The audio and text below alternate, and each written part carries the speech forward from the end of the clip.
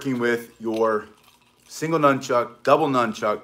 We're also gonna talk about the Japanese Tessen, which is the Ninja War fan, Samurai War fan. Doesn't matter who uses it, right? You're gonna learn how to fight with the fan, also known as the Kung Fu fan. A little bit different styles, but basically the same kind of thing. I'm gonna show you single nunchuck first. Grab your nunchucks, follow me in this basic or beginner nunchuck tutorial. You're gonna start with the nunchuck in the right hand and you're gonna make a small circle. So your hand is closed and you're just going like this. It's real small, subtle circle, enough to get that spinning to the outside. We're gonna call this an outer orbital spin. So the outer orbital spin, you can see my elbows bent a little bit. I'm gonna turn my palm down. When you turn your palm down, make sure that you extend your arm. Good morning, Sensei Emmett. Your palm is facing the ground. You continue with this inner orbital. Both spins are going away from you to the front. So when your palm is up, you're going away from you. When your palm is down, you're going away from you. Now, when you reverse it, you're just going into a reverse spin. So start here, palm facing up, facing the ceiling, circle going forward. Turn that over. Make sure that your arm is not close enough to smash your chin, but spin it forward away from you. Do that a few times, palm back up. Teach yourself slowly how to do this basic technique. You're gonna learn how to do single nunchuck, double nunchuck.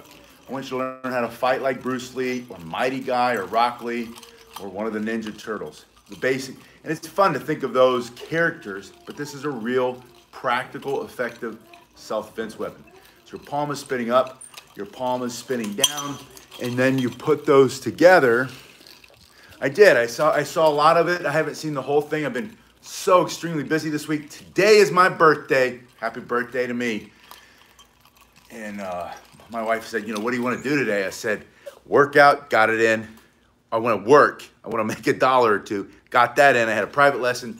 I worked out with somebody, trained somebody else, and I said, I want to make a live stream. I want to show you one of my favorite weapons, the nunchucks, and then throw in the fan for good measure. Now you're to turn that up and down. When you go up and down, thank you so much. Appreciate the birthday wish. Coming up and down in your sideways figure eight. And I also like to think of it as like slapping, thank you, slapping across the face, backhand across the face. Thank you, Sensei Emmett, for that birthday wish. Down and up into the center line of your body. Always learn to fight from behind your sticks. In this case, the double stick with the chain in the middle, the nunchuck or nunchaku. This is my target. I went over this last time talking about how to hit a target, whether it's a, uh, a, non-living target, a bag, a stack of tires, a tree. Don't beat up the tree, but you know, you wrap the tree, a pole. Practice your strikes coming down at an angle, down at the angle. If you come straight across, it's gonna reach back and smash your hand unless you're holding at the very end and you also follow through. Talk more about striking in a minute, but I wanted to grab that second nunchuck and show you how to do the warm up when you have two nunchucks. You think about a lot of the great Bruce Lee movies, he fights with single nunchuck and he fights with double nunchuck. This is also good brain training. This is great for your brain, right? So your double nunchuck spin, palms facing up, turn down, make sure you push away from you. If it's in, you're gonna bust your chin. Hands out, spinning forward, palms up. Yeah, for those of you who haven't been to Sensei Emmett's channel, go check it out. He had some great interviews recently, especially uh, one with Master Gary Hernandez was really fun to watch. Palm down, palm up. Oh, and then I, I caught the one, the woman who does the uh, traditional European European martial arts, sword fighting. Spinning forward, you put it together, and now you're doing a double nunchuck spin. You go faster, you go slower, and I'm gonna show you how to cross them over because I think this is one of the coolest moves you can do with the double nunchucks is when you cross at the same time and bring them back. Now you'll see that one time you're gonna have your right hand on top. The next time you're gonna have your left arm on top. You're gonna constantly switch that. One, two, Now you can bring it back out. So you're spinning like this. This is very traditional Bruce Lee. You can do your outer orbitals. And we're gonna go over this, how to catch it in this position and how to strike. We're gonna go over that in a minute with the single chuck when we drop this one again. But I wanted you to see that basically anything you do with a single chuck, you can do with a double chuck if you understand timing and distance. That means not smashing them together. And sometimes you'll alternate your timing. Sometimes it'll be simultaneous. So let's go back out to the outer orbital, palm down, inner orbital, outer, inner, put it together. Now you're doing a double nunchuck spin, double figure eight, or infinity spin. You just heard them clank together. And then bring them closer to the midline, across the middle. Like I said before, this is gonna be great for your brain elasticity training. Great, great training for your brain. Now, let's put this one down. Go back to the single, because I want you to see some more of those Bruce Lee moves. I'm gonna lift this up a little bit, give myself some more room. You see all the junk back there in storage. The right hand, I want you to go up and down in a basic strike for self-defense. And in this case, it's going to be vertical, meaning just up and down, right? So you're striking here, and as you start to strike, I moved my hand from the center where I was warming up on that spin, to move it out so I get maximum power.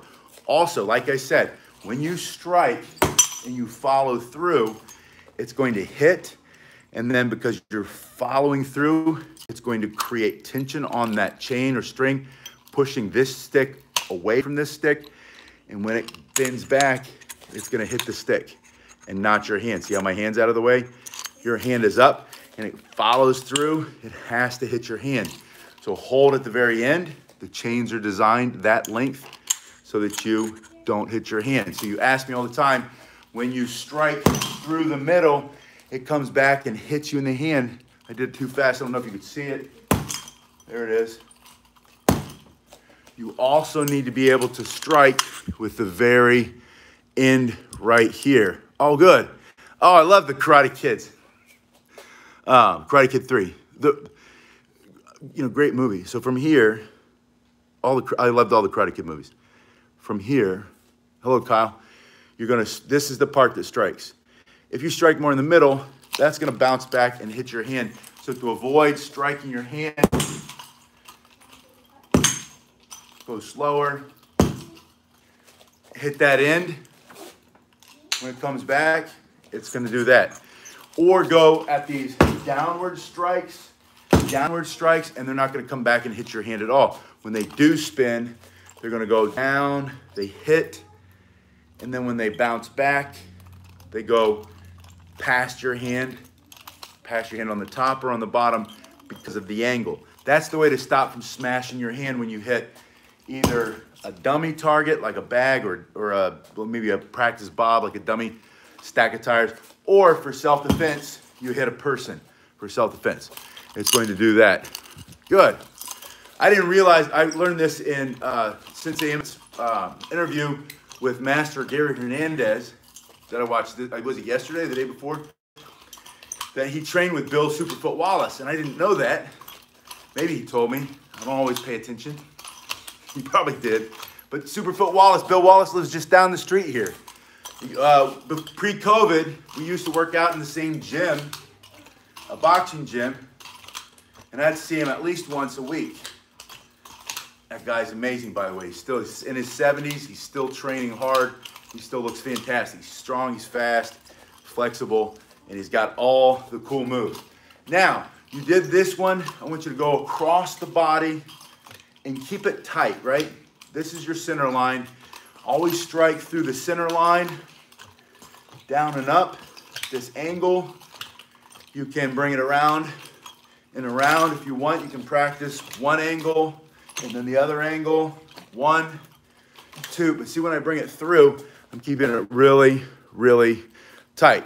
When I, when I, uh, he's not, uh, he just, it's not that he's aloof. It's like, you know, what use does he have with the internet? He's not trying to prove anything to anybody. Bill Super Wallace, I'm saying. That's why it's probably hard to get him to respond. He's always got a lot going on. Super brilliant guy, though. Coming through and coming back, and an amazing fighter, right? Even to this day. This is your horizontal strike. Horizontal strike when I'm coming across from the same side. This is my right arm when I come from the right to the left, palm up, left to the right, palm down. Put those together. And now go down, sorry, go up, go down, go across, up, down, across. I call this the Bruce Lee triangle. In the uh, series Naruto, Mighty Guy and Rock Lee also do this same basic move in a lot of their animated TV series. That manga or whatever it's called. One anime, one, two, three. But that's all it is. It's just one, two, and then up. And right here, that's a right triangle. right triangle. And I just call that like the Bruce Lee triangle. Good, thanks, Phil. Yeah. Uh, hello up in Canada. I hope it's beautiful up there like it is down here. One, it's beautiful country. One, you know, the whole world's a beautiful place. We live in a lot of, a lot of us live in beautiful places. Even cities, like I love Seoul, Korea. Seoul, Korea is one of the most beautiful cities. And they've got great parks throughout and the mountains and stuff. But just the buildings, the people make it, you know, so clean. And some cities are just pretty that way. All right, now going back to the double chuck, pulling them all up. I want you to go up and down, or pulling them both up, I should say, as if I had more than two arms. But I want you to add a little bit of complexity, just a little bit, and a little bit of, uh, make it interesting, right? A little bit of complexity and what should we call that? I was thinking this this morning. My, my word, when I work out this, as hard as I worked out this morning, my brain sometimes loses the words. It's because you, you burn off the blood sugar in your brain. Anyway, texture, that's what I'm thinking about. I always think, you know, think of martial arts for three things. One, self-improvement. That's always the best, right? The way, the dough, the way of self-improvement through training the martial arts. Two, practical self-defense. It's the fight, right? well, four, I guess. Four would be the sport aspect. You know, it's fun to, to compete in different aspects of martial arts as a sport. But then there's always the demonstration or the aesthetics, the way things look, how beautiful things are. So from here down and up, adding some texture, some volume, uh, change in the rhythm from this straight up and down to adding a spin down and a spin up, that changes now the rhythm, but also the volume, the way it looks to somebody who might be watching you. So whether it's a tournament or even just for your own satisfaction to see that you're learning new techniques and you're starting to grow, add that spin. And then you can double the spin. You can triple the spin. You just keep going, keep going, keep going, keep going, keep going, right? But try that. When you do your training with the double chucks and you go down and up, and then let's add more complexity, right? Start to split that strike.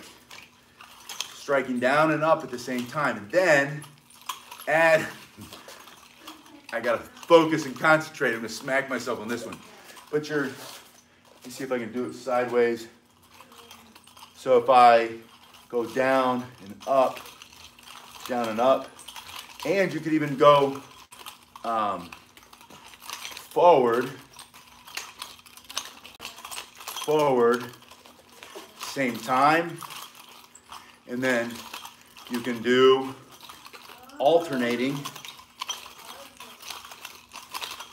And it's just adding complexity. It's good for your brain. It makes your brain grow. You get out of your comfort zone.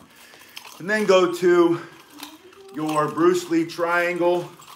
Same time, alternating which hand's on top one hand and then the other hand, and then alternating. And it takes a little bit more thought, and I'm smacking myself pretty good on that one. But you get the basic idea. Let me see if I can get better lighting. It's I talk about this all the time, but you watching my videos brings in a little bit of income. The, the volume adds up, and it's not a lot of money, but it's enough to keep the lights on, to pay the electric bill, to Florida Power and Light. But sometimes it's not enough to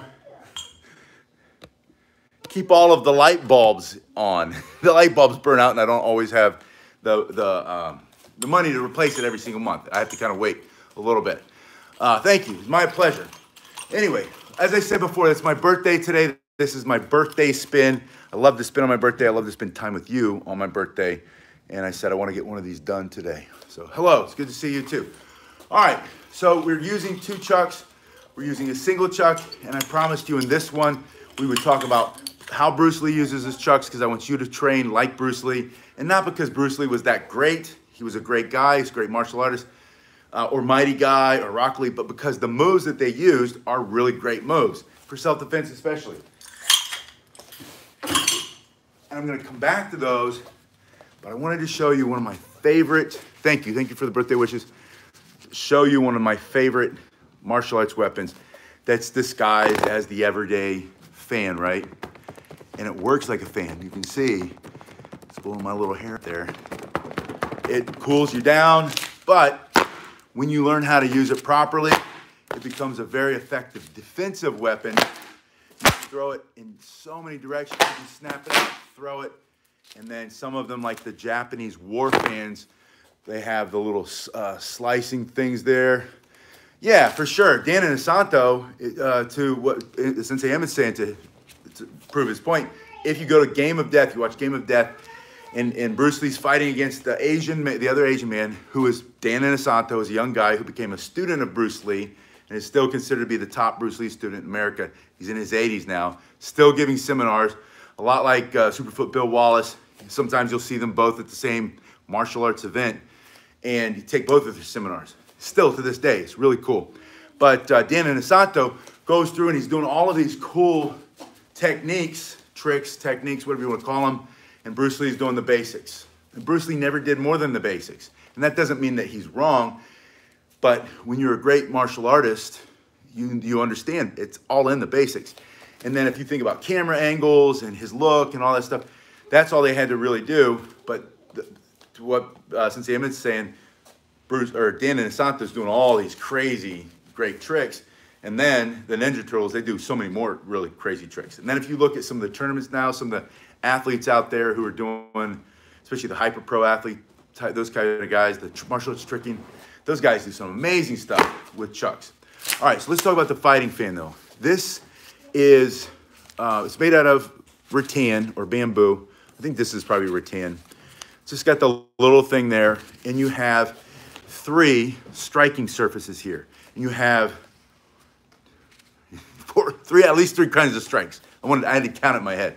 Plus you have parrying moves, knives coming at you, and then you literally using the side with the twisting martial arts, all the twisting, all the spirals in martial arts, spiraling. Yeah, pun intended, right? But I like that you can basically defend, and if you don't have any other option and you just have a fan, also training with a fan teaches you how to train with a short stick. I heard uh, Master Gary Hernandez when he was talking to Sensei Emmett in his interview. If you haven't seen that, go watch his interview on Sensei Emmett's channel. But he was talking about the Korean danbong, the short stick, which is about this long. It's maybe just a little bit longer, a little bit more around, but the techniques are the same. So the first kind of strike you have with this stick is the same way you would do with a short martial arts stick, like a Kali stick, a Eskrima arnis, and it's as simple as you know, fast, striking, thinking about your targets, temple, nose, teeth, mouth, jaw, neck. You know, they're coming at you with that punch, smashing the wrist, smashing the hand. And it's a, it's a speed weapon. It's a fast weapon, but it also leverages what you have naturally. It multiplies the force, the power of your hand. And then you have this ability to strike. The second way to strike with this is you hold a little bit, just like you would a Kali stick or the danbong, the Korean stick. You have a little bit of the stick coming out the bottom. So at this bottom, yeah, anything um, Dan Inosanto makes is worth watching, in my opinion. He's got a really cool TED talk too. Coming in, think about temple, eyes, teeth, right, nose, but smashing, the smashing strike, right? And it comes in. It's very effective it takes all the force of your body force multiplier, all the force of your body, and concentrates it in that little piece of wood sticking out, and then it goes in, and you squeeze it. You squeeze it. Yeah, I love the umbrella. Um, you're squeezing it, and by squeezing it, you make it more rigid. Now, there's another way to hold it, and that is to spin it. It's kind of like a palm spin. I haven't palm spinned in a while. Like the palm spin you might do with a bo or a jo, but the palm spin and now you have it in the other position and you would hold it closing here at the very end. And from here, it's a very hard striking weapon. Now the other way, the third way, hold on. If I don't drop my weapon in one of these live streams, I'm not working hard enough, is just that straight in thrusting, thrusting strike. And I'm gonna thrust either using this or again, there's that palm that's good. I dropped two. This is going to be good. If I get to three, this will be a very lucky video for you. This is going to be a fortunate, this will be like a good luck charm. It's my birthday video, but the wishes are for you to learn something new and have good luck for the whole year. Yes, in Weldon, your hand, Weldon Askin, an older, weak hand do well with these. Absolutely, your hand is going to get stronger little by little by doing this. And where you have weakness now, you're going to have strength in just you know, six to 12 weeks. It's usually how long it takes for your hands to get really strong doing any martial arts weapon. Now you shove that, right? Just think of thrusting. One of the most effective ways to defend yourself is to go straight in. Whether it's a punch, a palm strike to the face, a chop to the neck, or in this case, you don't have to use your hand, squeeze it, and just thrust. It becomes an extension of your body, pushing through.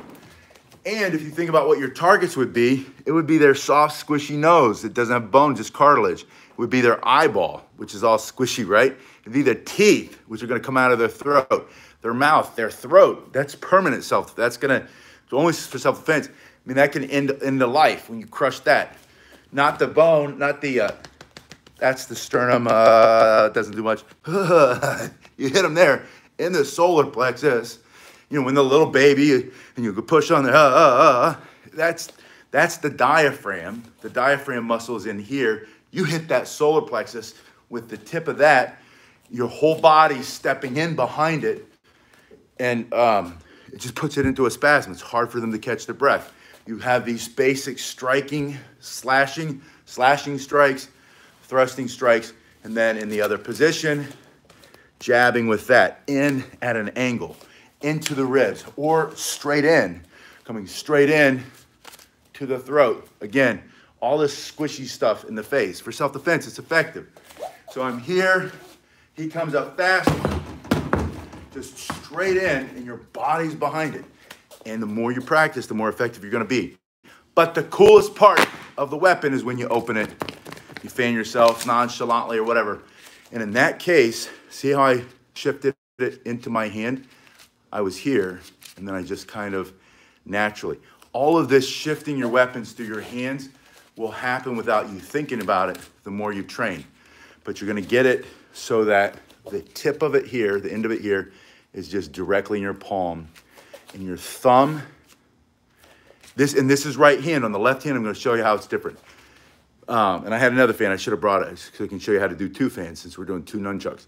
But from here, your thumb goes on the outer spine the finger comes the inside, and it's that first one on your thumb side. Now, this is the other side. That's your finger side. That's your thumb side. So your thumb is here. Your finger pinches just that first one. And the way you learn that pop is to just open your hand and let it drop with gravity first to close it. Now, watch my arm. It doesn't move, but my wrist is going to turn back, like I'm holding a plate. So from here, get it perpendicular, let it open, close it. Now when it's open, you have these spines that you can then block a bladed weapon.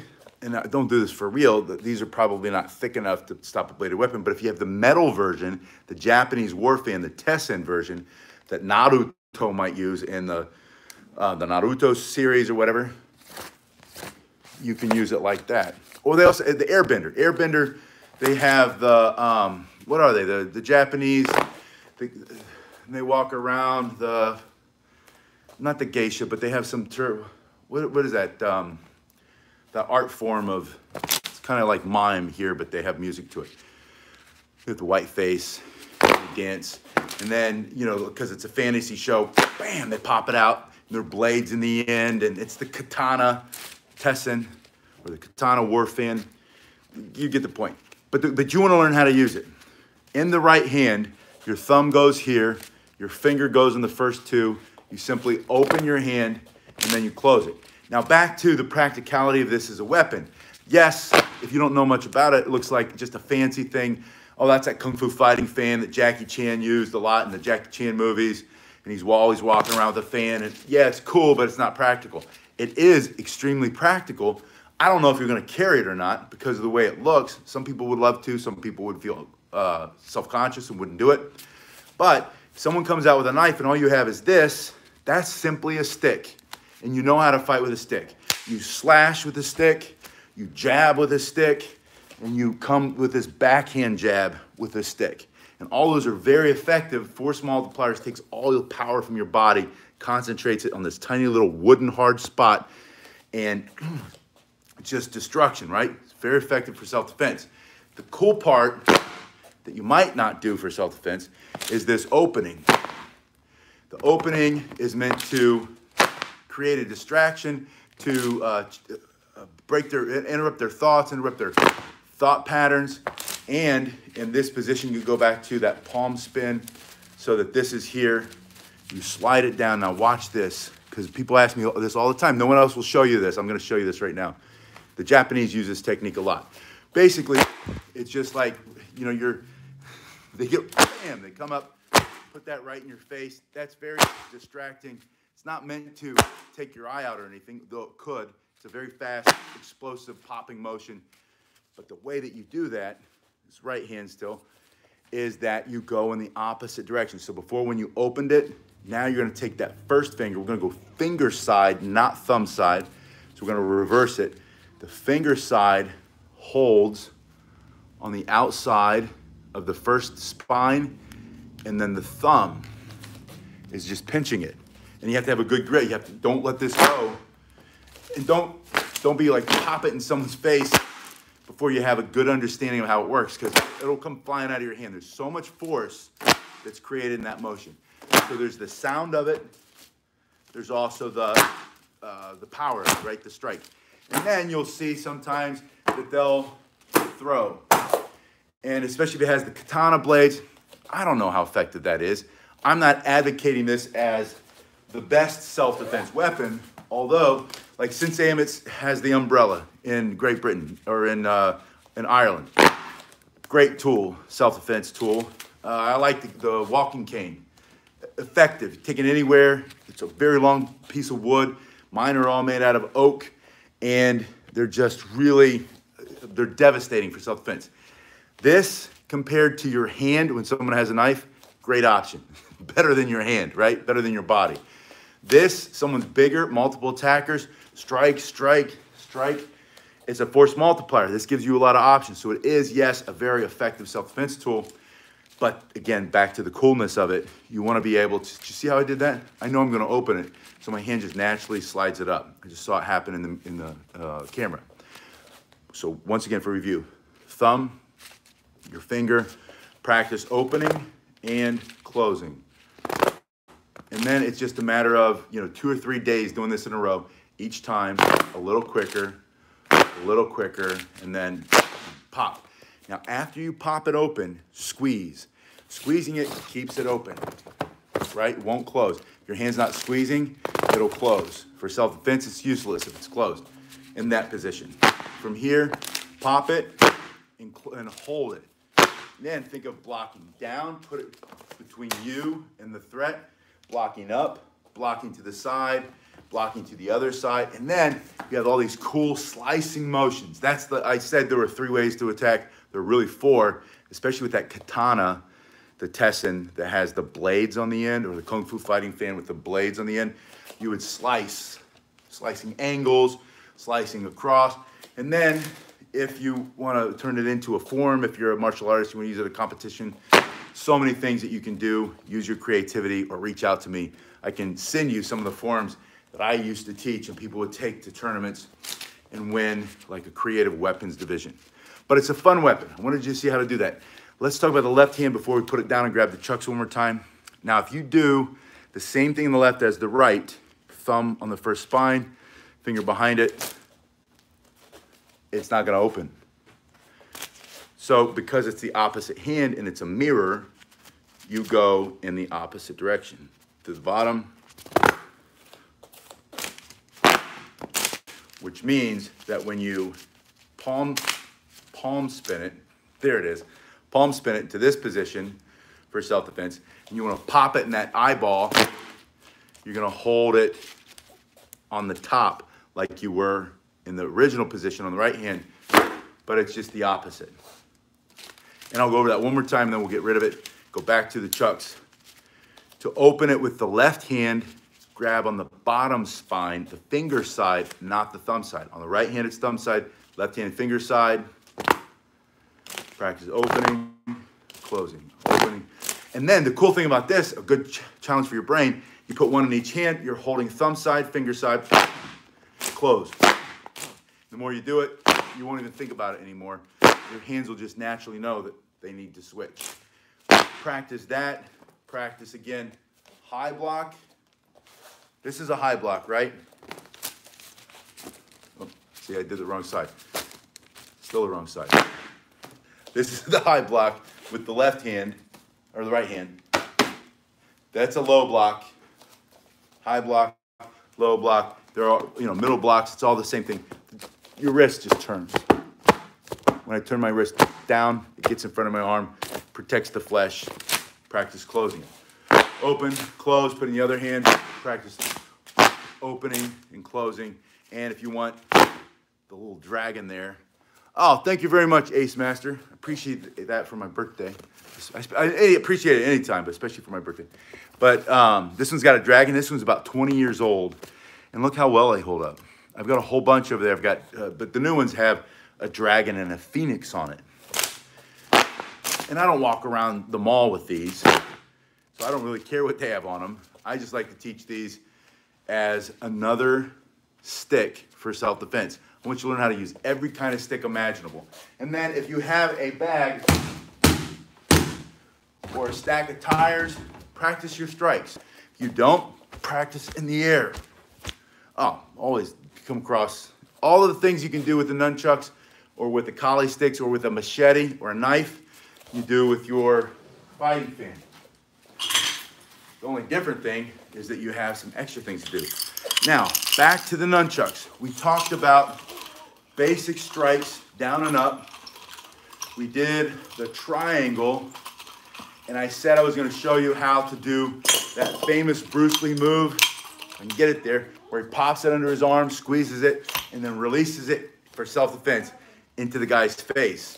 And again, Naruto's uh, animated series, Mighty Guy also does that move. I've seen, I think any anytime you see nunchucks pop up in a TV show or the movies, you're gonna see this and you're gonna see that. It's just such a simple, cool, easy move, but I want you to learn how to do it. Start with it in the right hand and I'm gonna show you two things. One is the forward orbital. You know how to do this. This is our warm up. Remember we did orbital, orbital inside, outside. You put it together and you have your figure eight. So you're just gonna do the outer orbital. And then the second motion, before we go under the armpit, is this, down and back. One, two, it's as simple as that. One, two, and I want you to practice one, two. On the third one, close your arm. Simply drop your elbow. That's all it is. But get used to this motion. One, two. On the third one, pop it under. Then do it in two. One, two. Then do it in one, one, one. Then add the orbital because it looks cooler. Here's complexity. One, two, catch. Do a down and up. Spin, spin, catch. Do a spin down, spin up, arm, orbital, catch. Now you've just done like four different tricks or techniques with the nunchuck. You built some complexity. Now you're freestyling. You want to learn how to freestyle with the nunchucks or nunchaku freestyle? Basic nunchucks freestyle is putting together the basic techniques. So let's review what I just did. So uh, let's add one. Let's do a Bruce Lee triangle. Do a couple orbitals. Spin down, spin up. There's your vertical strike go up, and back on the front arm, go back to an orbital, catch it, and then this from here, all I'm doing, get it in the right position, is I'm squeezing this arm against the body to create tension here, and then at the same time, I'm pushing my wrist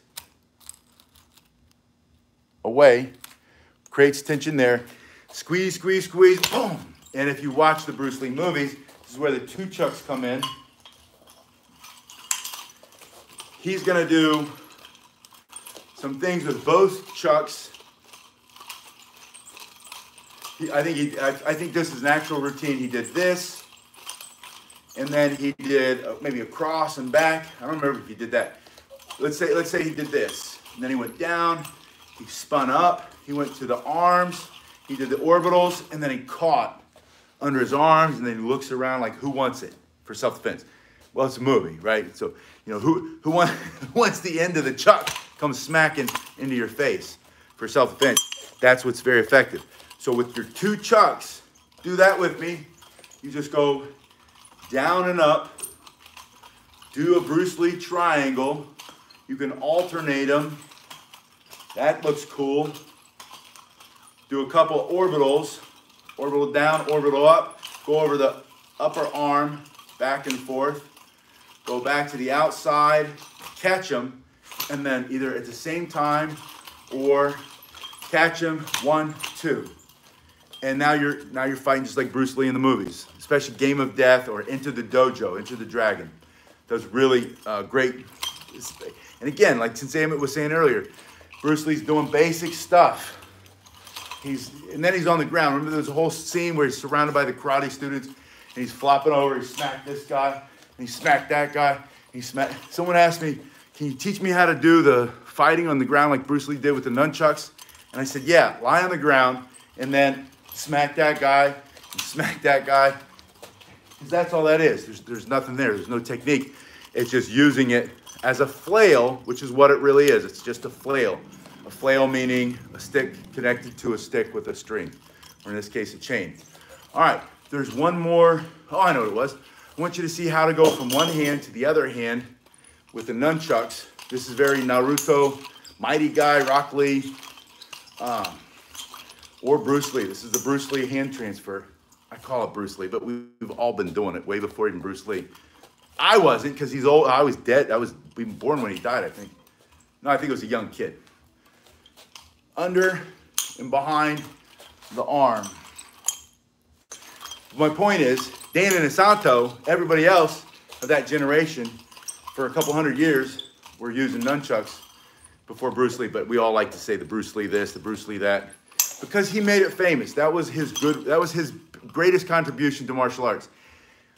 We all got into martial arts because of two people, one or the other or both. For me, it was both.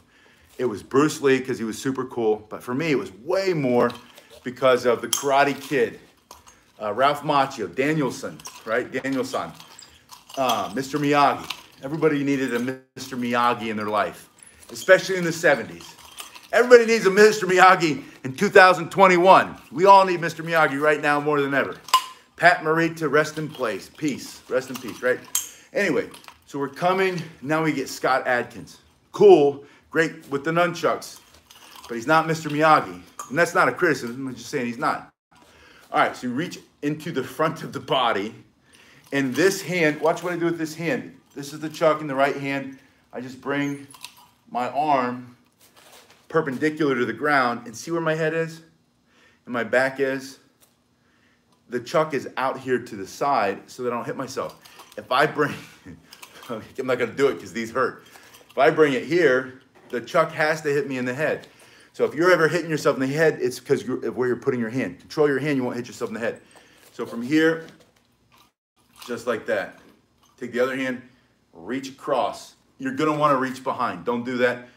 Reach and cross, let it go. That's that reverse angular strike. Reach across. And now you're doing the Bruce Lee, mighty guy. Which um, Ninja Turtle was it? I always forget. Donatello, right? Donatello, the Ninja Turtle with the nunchucks. And again, those are all fictional characters, but this is a real weapon. And it's very effective for self-defense. It's not, because of that reason, it's not legal everywhere. But I was told recently it's illegal in Texas now. Used to never be legal in Texas, now it is. There are far more dangerous weapons out there that you can get than the nunchucks. So it makes sense to me it's illegal. All right, now what do you do? You put them together. Let's say Bruce Lee triangle, a couple orbitals on the arm, spin down, spin up, go into your armpit squeeze, pop them, switch hands, and then do something over here. Maybe a Bruce Lee triangle again, down and up, over the arm, outer orbital catch, pop them, switch hands. And then the last time we did this, I put the hand on the opposite side of the face, opposite side, this left hand, right side, the back of the hand here, because your palm is going to block your face and allow the chucks to transfer into that other side. So this is just a bonus trick or technique. Hand here, bring it around your head, and then pop it out. Oh, one of the best Bruce Lee moves all the time. Let's do this first. Go behind the head, bring it out, put the hand on the other side, bring it out. Put the hand on the wrong side, you're gonna smash your face, make sure it's on the correct side. Opposite hand, opposite cheek. The last thing, from this position, you would see in a lot of those movies, and I've seen it, Mighty got, oh, the new movie that's coming out, the Mandarin, Marvel movie, based on the Mandarin uh, superhero, I guess and guy uses the chucks, uses the double chucks, and specifically uses the double chucks in the reverse grip, like this, kind of like Ahsoka Tano from the Star Wars. She's got that double uh, bladed lightsaber that's separated, and she goes from a positive grip to a negative grip, back to a positive grip. And then in the new Mandarin, what's the Mandarin guy's name? I always Shi Ching or Ching Si. Xi Ching, something like that. And he's um, Chi Sing. Anyway, we'll do that in the next video. I want to show you how to do that because I think that's a super cool move. But back to the Bruce Lee move, mighty guy move. From here, you bring it out. All it is, left hand's on the bottom, right hand's on the top, pushing against each other, pulling away from each other creating tension. Use the tension to start to pull with your bottom hand, left hand. Let the right hand turn in and without relieving that tension, push out. Now, this chain, especially chain, uh, but, but even the, the string weapon is designed, can be used to block an attack from a punch, a kick, what they're kicking your head, a punch, uh, a stick, a sword, by deflecting to the side. You wouldn't stop the blade of the sword as it comes down. You would push it off the center line. And then you can either, if it's a long weapon, throw it and catch it on the other side so that now it's wrapped around the sword or the knife or sometimes their wrist. And think of a nutcracker. You have the tension from these two things. See if I can I don't want to mess up my, here. This thing's 20 years old. If I mess it up, I won't be too sad. I don't want to mess up that other pair of nunchucks. Just because I want to do more double nunchuck stuff. But from here, when you start to push those toward each other, and that's his that's his wrist for self-defense or her wrist for self-defense, that's just going to shatter the bones, right? That's that's so much force, leverage pushing against each other. And if it's a knife, or a weapon, it allows you to create kind of like a wrench and then rip it out of their hand. So this, again, uh, fantasy weapon or TV weapon, movie weapon, but it's a real self-defense tool, blocking, snapping, right? Blocking, pulling away. Throw it out of there, finish the fight for self-defense. So grab the single nunchuck, the double nunchuck, or grab a fan, practice with me a little bit, watch this video a couple times. Thanks again for that birthday gift. Happy birthday to me. Happy birthday to you. It's gonna be your birthday sometime this year. I hope 2021 is a fantastic year for all of us. I'll see you guys